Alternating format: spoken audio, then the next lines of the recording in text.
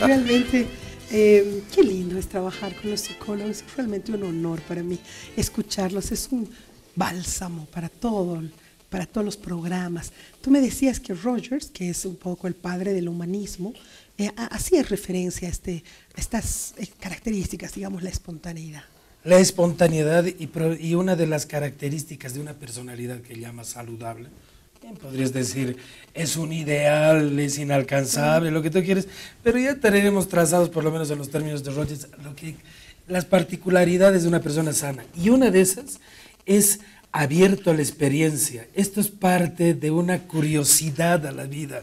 No es, ay no, qué asco, pero has comido ancas de blanca. No, no, no, la sola idea me, me parece horrible. No sé, pero además, pero creo que los niños hacen eso explorar su mundo. Ahí viene una hormiga que... ¿A qué sabe una hormiga? No? gran actor.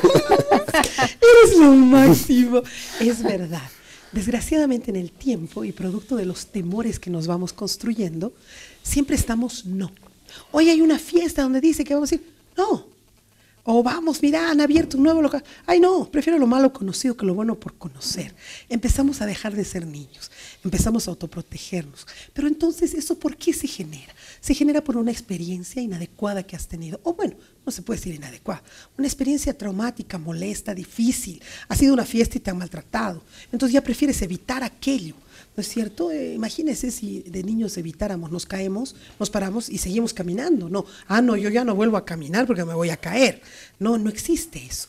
Pero, ¿cómo se cura ese temor que vas construyendo en el transcurso del tiempo? El temor a lo que opinen los demás de ti es la mayor prisión de los adultos, claro.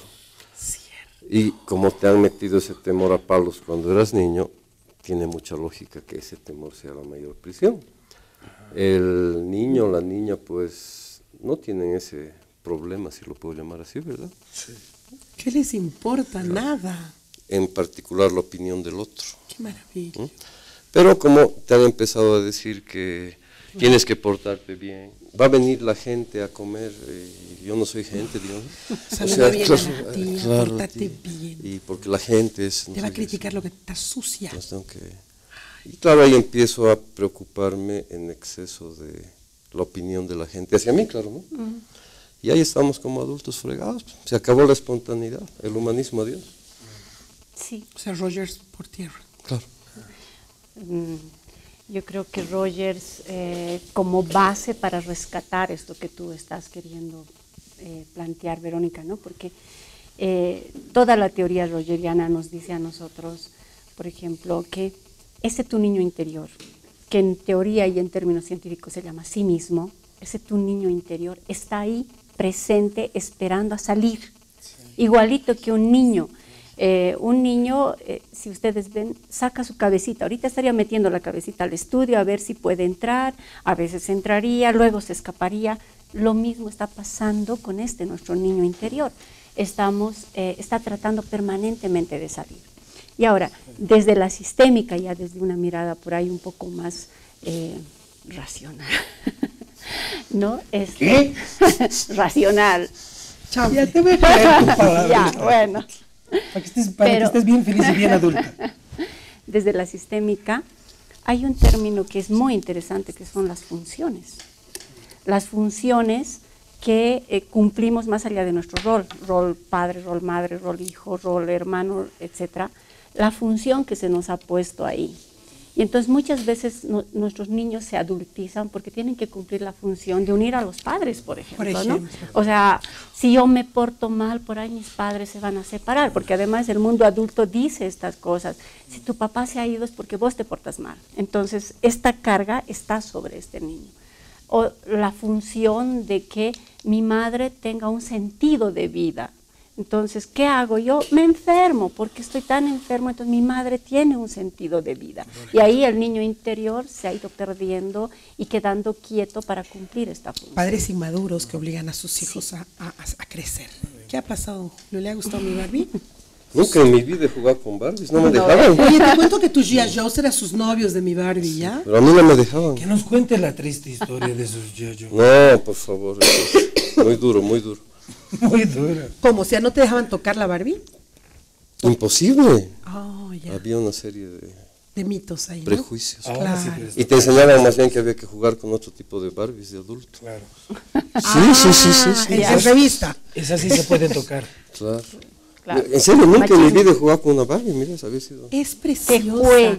Mira, le pones un vestidito, le pones zapatos. Rosado, además. La mía era, era antigua, mi padre me la regaló cuando era muy pequeña.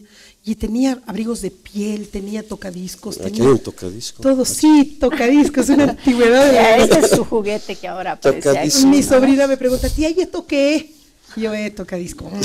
¿Cómo le explico? Digamos, no es ¿Qué es cierto. disco? Bueno, este, todavía guardas tus juguetes, me dices, ¿no es cierto? Yo sí. Yo sí. Ya, Y, y, Aunque discos- siempre han estado muy relacionado a mí, lo que ha sido mis discos. Esos eran mis tus discos juguetes. sí tenía ahí. Mi primer disco yo creo que recibí a mis ocho años y les pedí que me compraran a mis papás, pero era un disco de Raúl Abranzón, ¿se acuerdan ustedes de Raúl Abranzón?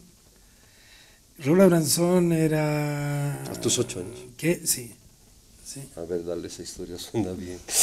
Y siempre mucha música. Dice, papi, quiero esa canción, Él quiero ese disco. él es muy musical. quiero ese disco. Entonces sí escuchaba esas canciones y esas bastante cebolleras, digamos en ese sentido, así te hacen llorar. Pero a ver, ¿qué estoy pensando de Rola Branzón? Yo- espera, yo quiero- La quiero- plaza. Oh, ¿Te acuerdas? está tan sola porque tú no estás aquí. Ya, ahora yo digo, ¿qué hay que hacer con los hijos en su momento cuando están con los juguetes? Conozco historias de padres que les dicen, ya es hora de que seas adulto, agarran los juguetes de los hijos y los desechan. Dice, sí, mi camarógrafo me está preocupando. ¿No? Entonces, eh, ¿qué sucede? Nosotros los obligamos a hacer esa transición. No les permitimos que ellos disfruten de las edades que deberían disfrutar. Voy con esta cámara, por favor. ¿Qué opinas, Julio? ¿Cómo, ¿Cuál es el rol del papá? ¿Por qué el papá, igual que el, que, igual que el colegio, te tira un empujón obligándote a que seas adulto? ¿Cuál es el riesgo de que seas un eterno niño? ¿O el temor de los padres de repente? Claro, como, todo, como toda moneda hay dos lados. ¿no? Creo que en la vida adulta es muy importante mantener ciertas características del niño. Sí. Por ejemplo, la característica de la investigación, del descubrimiento, de cada día una aventura, que es lo que hacen los niños exactamente, ¿no? Lo que hablábamos, cada, viendo, explorando. Porque si anulamos esa capacidad de sorprendernos con la vida cada día o de buscarla, claro, nos vamos a quedar cuadrados viviendo en una nube gris, que lo podríamos llamar un mundo bajo un sistema, si se quiere, ¿verdad? Y además seguro.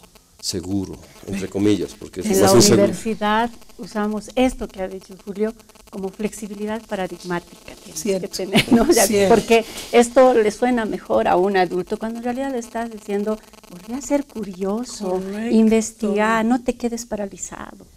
¿Qué hice hoy? Mañana, a ver, cada día una vacación. ¿Acaso necesito ir de vacación? Claro. Lo que tú decías que son los elementos para la felicidad en algún momento.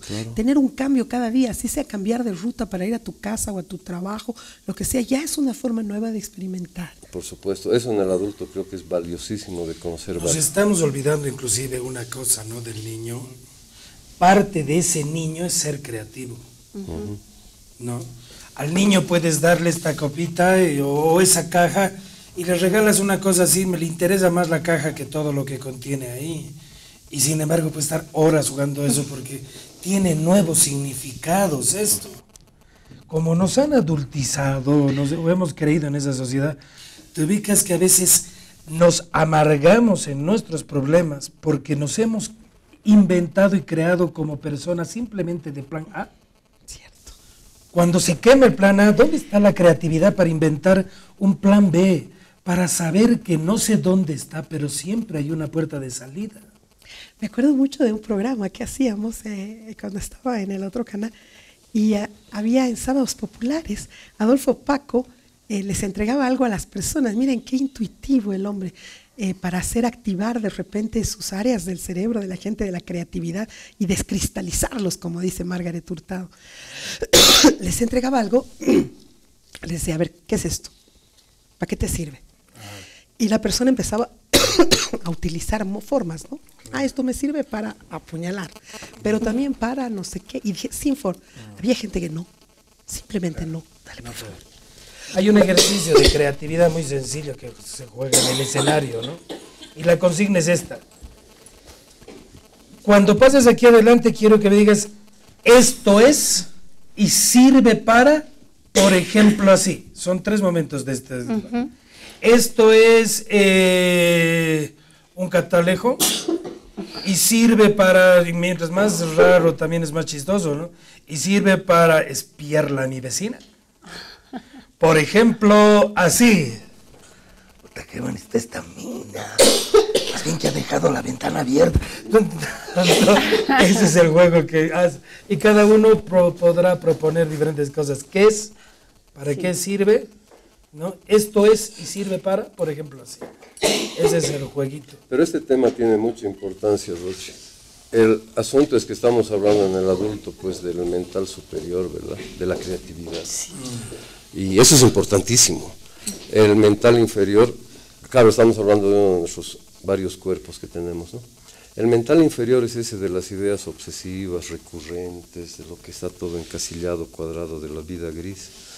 El mental superior creativo, el que te conecta con la divinidad, con lo que quieras llamar es el que justamente creo que esto que han llamado, y me encanta como lo han llamado, ¿no? La adultez, adultización. Adultización. Sí, podríamos ponerle otro término, pero igual acabaría en sí. Adultización consumista. Exactamente. Además, ¿no? Claro, porque ahora el tema es el que piensa, el que crea, pierde. No puedes pensar. ¿Te has fijado estas cosas? Te llega una cosa, quieres analizarlo, ya te llega otra. Sí. Ya te llega otro. Ya te llega otro. O sea, no tienes ni el tiempo siquiera. O sea, no puedes pensar creativamente. Creo que esa es la mayor faceta que la sociedad moderna ha liquidado pues de los niños y las niñas. Y la capacidad de usar y reusar. Estaba pensando en esto que tú decías, Rodri. En clases yo les hago hacer un ejercicio a mis estudiantes. Les hago eh, construir algo con plastilina, ¿no? Y hacen todo su esfuerzo, lo más maravilloso que han podido hacer. Entonces les digo, ahora agarren esto y desháganlo. ¿no? ¿Qué dificultad tienen las personas de deshacer lo que acaban de hacer? Porque nos hemos acostumbrado en el mundo adulto de lograr un producto y ese lanzarlo y seguirlo lanzando y otra vez y quedarte ahí, ahí te paralizas. En cambio el niño no. Eh, puede doler, dolerle haber roto algo que ha hecho, pero de no, inmediatamente... No pienso volver a empezar de cero. Exacto. Un niño empieza de cero. No y quiero esto terminar esta relación. No volver a empezar de cero. papá. Qué flojera. No quieres Cuando deshacer. debería ser todo lo contrario, ¿no? Una aventura. Debería ser un desafío maravilloso. Y empiezo, ¿y qué cosas descubriré? ¿Cómo será esta persona? ¿Y qué hará?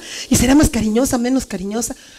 Dicen que en la vida no hay que saber lo que quieres, sino hay que saber exactamente lo que no quieres. Barco a la deriva, ¿no? Eso ayuda mucho en la aventura, ¿no? Buen punto.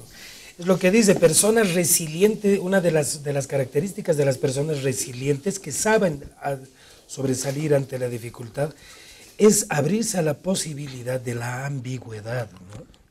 En cambio, yo creo que esta es la mentalidad muy adulta, donde todo tiene que ser qué, para qué, por qué, cómo. Estructura. Con un Esto- objetivo preciso. Más bien hay cosas en la vida de a veces cuesta asumir eso. Aquí no hay estructura, no tiene ningún sentido asumirlo así simplemente. Pero ¿por qué me enfermo? Ah, porque me he ¿Por qué me salido- pasa esto? Porque me he salido de mi casa sin permiso de mi hija. Ahora voy a recaer, me van a sacar la mugre, ¿no? Pensamiento. Pero, pero tú crees que se entere que ha salido a la televisión. No creo que ni No, se no, no, entere. nada, ni hablar. Por lo menos no se ha enterado cuando he salido por el garaje, no se ha enterado que he salido. Además tienes tres cómplices. ¿eh? Sí, por favor, me van a defender, ¿ya? No Bueno, podíamos estar sin ti, Ver. Oye, pero Yo sé que sí, más nos bien. hemos quedado en cuál sería el lado malo de seguir siendo niños cuando Sí. somos adultos. Ya hemos hablado, creo, de lo creativo, que es buena onda. Por favor. No puedes, como adulto, pensar que tu vida emocional es la que va a regir. No puedes. El planeta infantil se caracteriza porque los adultos creen que piensan, pero lo hacen desde aquí, desde el mundo emocional. Es como, mis decisiones son emocionales, absolutamente. Y eso sí que no es muy racional, muy pensante, y es peligroso. Lastimosamente, pues el siglo XXI es el siglo del social a todo nivel y se está prolongando esto en la brecha de edades. Julio, usas un El término infantilismo Exacto. social que ¿Qué es. particularidades Si no, no lo sé. Porque seguramente la analogía es un niño, ¿no? Eh, fácil. O sea, una sociedad inmadura. Una persona de 30 años de vida que le haces un test y te da una edad mental de 14 años. Sí. Fácil. A eso me refiero con un infantilismo. ¿Mal o bien? Tremendo. Mal. El mundo está diseñado para los adultos. Pero no tenemos la oportunidad de que vayan cambiando, de que las cosas cambien, de que, de que no, de que esa nueva generación, yo veo la nueva generación completamente decidida a, a romper esquemas y como parte de esos esquemas ellos viajan mucho, ya no trabajan ocho horas al día, ya no viven esclavizados al sistema, eh, ya no se visten ni siquiera serios, andan de blue jean con su computadora haciéndose millonarios. ¿Acaso no es ese el camino que deberíamos estar todos buscando? No, sin duda. Pero encierra muchos peligros esa transición que está atravesando la humanidad hoy, ¿no? Eh, la fiesta nos gusta a todos, pero el problema es que hay que pagar la factura, pues. Digo, alguien tiene que pagarla, ¿no? Y la no responsabilidad en muchas de las acciones de gente adulta es dramática, pero realmente dramática. Puedes agarrar y te robas 10 millones de dólares porque es un dulce, digamos, y Tienes razón. ¿y, ¿y qué? A mí, ¿Y a mí no, me- no me gusta el término, el, el manejo que hacemos de los términos infantiles, niñez, siempre lo hacemos como algo que no ha desarrollado, ¿no? Lo mismo pasa a nivel eh, mundial con la historia de la humanidad, los pueblos primitivos, ¿no? Que son aquellos que más El bien están cuidando, mundo, ¿no? Claro. ¿no? Bien aquellos Es que están cuidando, exacto. Y lo mismo, lo mismo nos pasa. Sí, y, y en realidad, eh, a ver, en clases a mis estudiantes también yo les pregunto, ¿qué es inteligencia? Y la mayor parte lo confunde con pensamiento, etc. En términos muy sencillos, la inteligencia es la capacidad de resolver problemas. Y entonces, ¿quién tiene más inteligencia? ¿Un niño o un adulto? Por supuesto que un niño, ¿no? un niño, ¿no? Sin embargo, Más pensamos creativo. que la inteligencia tiene que ver con estas formas adultas de mirar la vida. Y entonces por eso pensamos que los adultos somos más inteligentes que los niños. Y en realidad no, muchas veces perdemos, sobre todo en la academia, nuestra capacidad de usar nuestra inteligencia y la intercambiamos por retención de información. Ahora nos daremos pautas, pautas para poder eh, ser un ser humano equilibrado. A mí siempre me ha parecido que la fórmula en este planeta para estar aquí solamente es una, ¿no? El desafío en este planeta es uno solo. Para mí el desafío de estar nosotros, espíritus, en una experiencia material, es uno solo, encontrar el equilibrio. En todo, ¿no? Ni estar en este extremo ni estar en el otro, ni ser, este, no sé, ni exageradamente eh, moralista ni ser tampoco una persona de flexibilísima en el tema de moralidad. Es encontrar el equilibrio. ¿Cuál sería el equilibrio como seres humanos sin dejar de lado ese tu niño interior? He visto unas imágenes bellísimas que vamos a seguirlas colocando, por favor, de la gente que se mira al espejo y se había vuelto un pequeñito, un niño, qué hermoso. ¿Cuál es entonces la conducta adecuada? El ser humano debería incorporar qué, qué prácticas para seguir siendo un ser humano un poco niño. Para Comprarse poco- Xbox. Que yo creo que vuelvo a insistir con esto, jugar es serio. La vida a veces la, la asumimos con tanta seriedad que el hecho mismo de no saber reír creo que ya nos mete en un grave problema, ¿no? Si eso era ser niño, todavía quiero ser niño. Sin embargo, también eh, creo por una parte, y estaba pensando en mi hijo, si algo yo quiero que aprenda en esta época que él es adolescente, es ser autónomo y además es ser responsable con su vida y con lo Eso que es la hace. parte adulta. Eso, eso no importa inclusive la edad, ¿no? Yo quiero que él sea, tenga esa particularidad, porque también te das cuenta más adelante de personas que nunca su- supieron ni pretenden asumir responsabilidades. Siempre hay alguien culpable de todo lo que hacen. Si los compromisos serios no les interesa porque saben que son inconstantes en todo lo que hacen. Cuando la perseverancia Es línea muy- muy definitivamente frágil, ¿no? Es una- es una es una es una virtud. Entonces yo quiero eso, quiero mi hijo y a ser autónomo además apunto a que él sepa no solamente que puede, sino que esté hasta en una actitud de descubrimiento de él mismo y de sus propias posibilidades. Es decir, invitada todavía a esa particularidad de niño a mí que, y en mi vida, en la vida de mi hijo, de todavía que el mundo me sorprenda. Que el mundo, qué lindo. Tú decías lo mismo, nuevas experiencias. Claro. Cuando recordemos que la vida pues es un gran, gran, gran y hermoso juego y que De Xbox. de Xbox, por ejemplo, sí, sí, sí, está bien. StarCraft. era bien. Al terminar van a salir corriendo a jugar. ¿Yo más? No, no, no, no, tú eres chica. Sí. Además, irresponsable. No le gustan las muñecas a mi amiga. No saben jugar con pelotas. Sí, claro. Ya, Depende. ya, ya sé lo que estás hablando. Pensando. Ya, dale. Penezando. Marinés, te pasaste, Marinés. Están bulleando. Defendiendo. No es pensando, es. Se ha puesto Sí, que mira, mira. Ya, listo, se va. ¿Qué? Esa no sabía. ¿Cómo es jugar, no? Todos se ríen. Cuando ellos se ríen, yo sé que está bien el programa, porque ellos son el público. Me ha hecho una de Ericsson. No, tal cual. Es cuando te dejan así.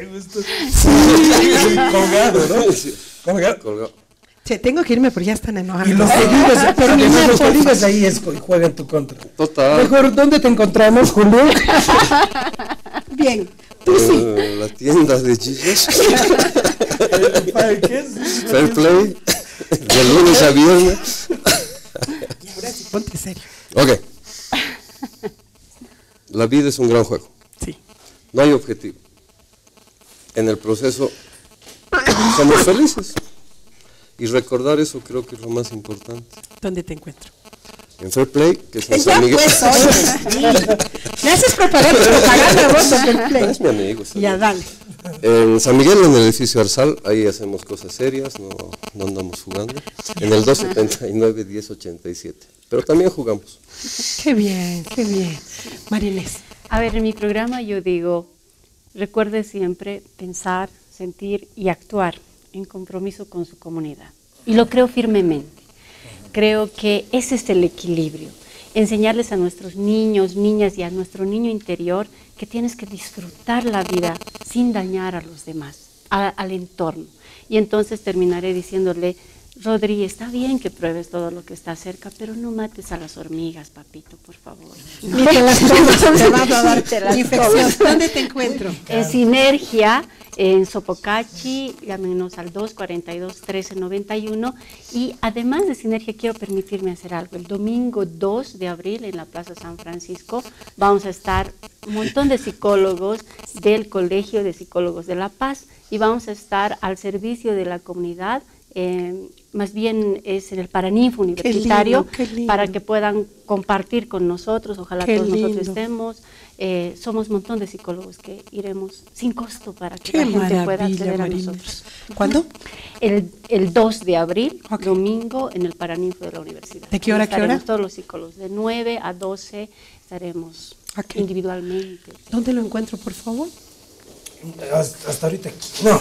Eh, bueno, si quieres contactarte conmigo en la página del Facebook, en el consultorio psicológico de Rodrigo Ayo, o llamándome a la línea telefónica 772-86-622. 772-86-622. Comiendo más Mi hormigas. consultorio comiendo más está en San. Miguel y allí más bien no tenemos ninguna, ningún pero para reír. Yo creo que más bien la risa, ese niño, esa travesura, esa locura siempre es bienvenida. Siempre es terapéutica, además. ¿Sabes qué? A mí, a mí la irme. a mí en mi consultorio no me gusta Bombolito y pinturitas. Bombolito y pinturitas. Ah, mi niña interna la curé hace muy poco tiempo. La curé, la sané, la reconocí, la empecé a amar. Me di cuenta que muchas veces me aburría porque mm, me sentía sola o me aburría porque no le estaba dando el espacio que necesitaba. Cuando empecé a cuidarla, nunca más me sentí sola y mucho menos aburrida. Un libro fue fundamental para mí eh, porque la base de poder curar mi niña interna fue dejar de pensar en lo que la gente piensa de mí. Como había construido en función al apellido y todo eso, para mí era muy importante lo que la gente piensa. Ahora no me interesa nada y sabe que soy infinitamente feliz. Si quieres saber, el libro se llama El secreto de las siete semillas. Está en el pasaje Núñez del Prado es fácil encontrarlo. Ahí puedes ir curando un poco algunas cosas de tu infancia y reconocer tus conductas. Un abrazo hasta la próxima. Volver a la